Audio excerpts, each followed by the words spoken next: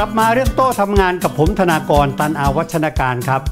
เรื่องราวอย่างนี้บางท่านไม่เคยคิด บางท่านไม่เคยนึก เรื่องเล็กๆ น้อยๆโต๊ะทำงานก่อนเข้าห้องทำงาน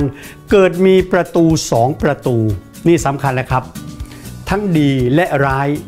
เพราะเราจะรู้หรือเปล่าว่าประตูซ้ายหรือประตูขวาดี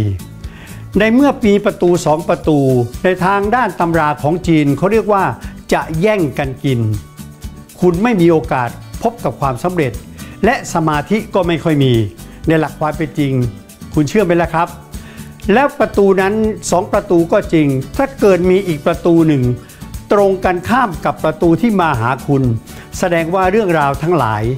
มันไหลมาจากข้างหน้า แล้วมันก็ออกสู่ข้างหลัง เคยได้ยินไหมครับว่า ประตูสองบานตรงกันจะมีปัญหา ห้องทำงานก็เหมือนกันครับ ฉะนั้นนั่นคือข้อห้าม ไอประตูตรงกันนั้นไม่ใช่เป็นประตูที่ออกไปอย่างเดียว มันเป็นประตูห้องน้ำด้วย นี่สิสำคัญ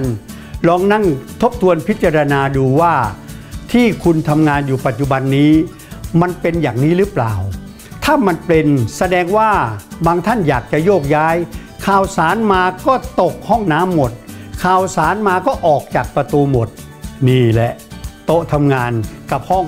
ถึงมีความสำคัญครับ ยังมีเคล็ดลับมากกว่านี้ครับ ต้องติดตามผมในตอนหน้าครับ